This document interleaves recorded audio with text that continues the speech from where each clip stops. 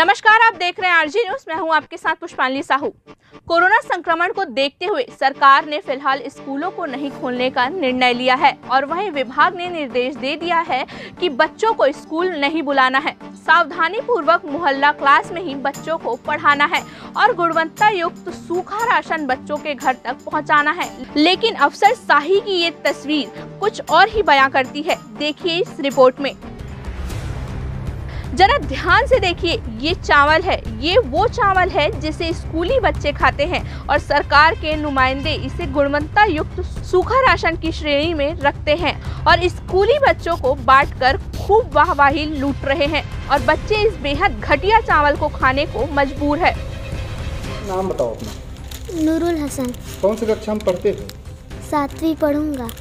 ये जो चावल मिला है तुम लोगों को आज स्कूल में ये कैसा दिख रहा है? क्या दिख रहा है इसमें? कीड़ा।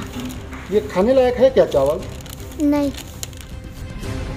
यह पूरा ताज़ा मामला सूरजपुर ज़िले के प्रतापपुर विकास खंड का है जहाँ शासन के बच्चों को स्कूल न बुलाने के निर्देश के बावजूद भी स्कूल में बच्चों को बुलाकर राशन के नाप तौल और पैकिंग का कार्य कराया जा रहा है और बच्चों को दिया भी जा रहा है। बेहद घटिया सूखा राशन।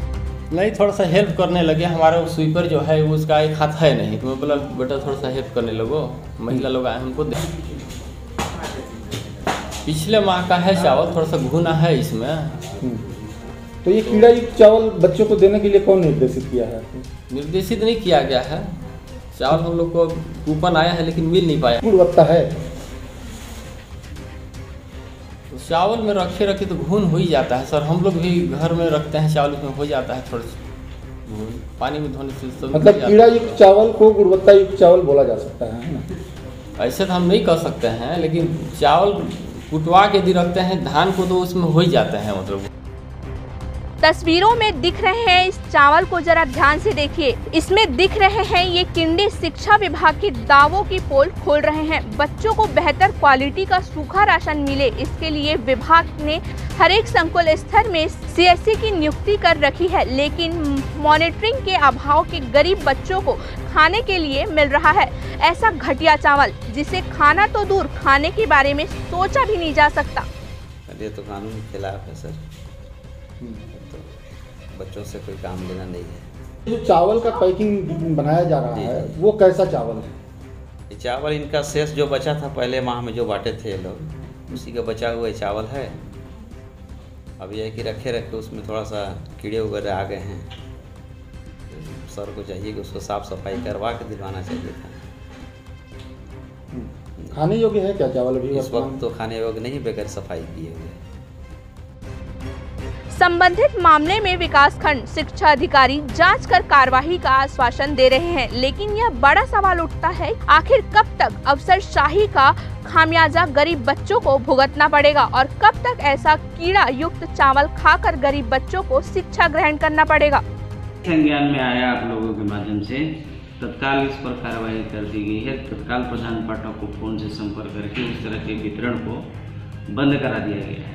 ये चावल जो विद्यालय में दिख रहा है, दरअसल लॉकडाउन की वजह से और खाद्यान्न पहले नहीं बढ़ सका, इस वजह से खराब पड़ गए। तो इनको बांटने के लिए बिल्कुल मना कर दिया गया। इनको पहले से भी निर्देशित किया गया है प्रधान पाठकों को कि इस तरह का जो है, चावल या खाद्यान्न बिल्कुल भी न वितरित करें। और गुणवत्ता का परीक्षण स्थानीय लोगों से भी समिति में सम्मिलित करके उनको और परीक्षण करने के पश्चात ही अधिकारीगण भी वहाँ उपस्थित होंगे बांटने के समय में। तभी वितरित किया जाएगा। बांटने के समय में तभी वितरित किया जाएगा। सर एक और मामला आया था हम मैं भी वहाँ पर कल उपस्थित था। विद्यालय के जो प्रधान पाठक हैं वो छोटे छोटे बच्चों से उस पैकेट बनवा रहे थे। तो ये कहाँ तक सही है? नहीं ये बिल्कुल सही नहीं है।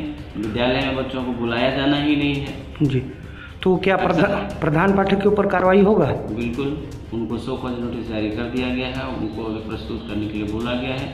उनके जवाब का हम इंतज़ार कर रहे हैं अगर वो हाँ। दूसरी पाई